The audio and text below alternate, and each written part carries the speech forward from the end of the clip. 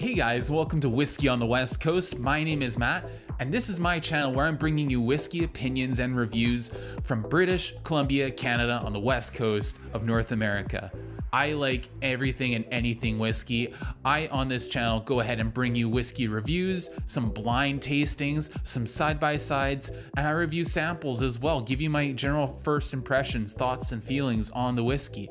I mainly cover single malt Scotch whiskey and blends, but I also like to review and drink Canadian whiskey, Japanese whiskey, and even the occasional bourbon. I like to dabble in the dark side of whiskey too. Thank you so much for checking out my channel. I hope you enjoy the videos and I hope you come back for more. Sláinte.